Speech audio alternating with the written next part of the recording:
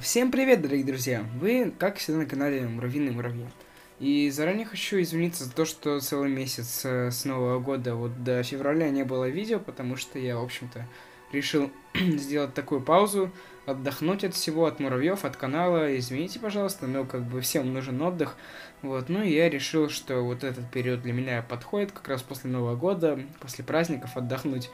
Ну, в общем-то, я отдыхал, и все было хорошо, я там гулял с друзьями и так далее. Но вот недавно случилось одно горькое несчастье, которое вы уже, наверное, по названию видео поняли. Э, моя матка Мирмикария Бруне, которую вы сейчас видите на экране, а именно видео распаковки, как я ее распаковывал. Это тот самый видос на канале, где мне пришла посылка, и я долго распаковывал. Вот.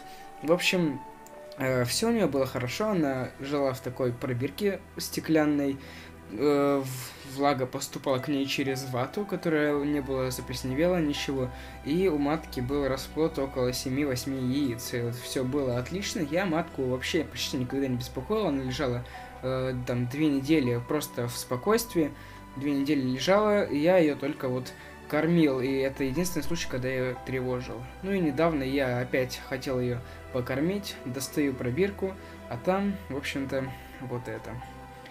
Я очень расстроился в тот момент, потому что, ну, понял, что вот все мои переживания из-за того, что дэрит ли та матка, и э, все ли с ней будет хорошо, и переживания по поводу, будут ли у нее рабочие, сколько их рабочих, как буду переселять.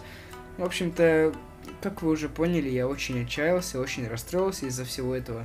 Потому что, ну, действительно, эта матка была мне очень дорога, ибо я реально переживал так, тот период, когда она ко мне ехала, и это были прям очень такие, знаете, эм эмоции, когда я ее достал, понял, что она жива, и я прям думал, что ну все, у меня есть для нее формикарий, который я еще не показывал вам, и все у нее будет хорошо, она будет развиваться, и все у нее, короче, будет замечательно, но такова вот жизнь.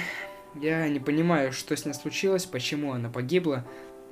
Совсем не могу понять э, причину всего вот этого, так что, может быть, вы мне поможете. Напишите в комментарии свои догадки, почему она могла умереть. Клещей я на ней не увидел.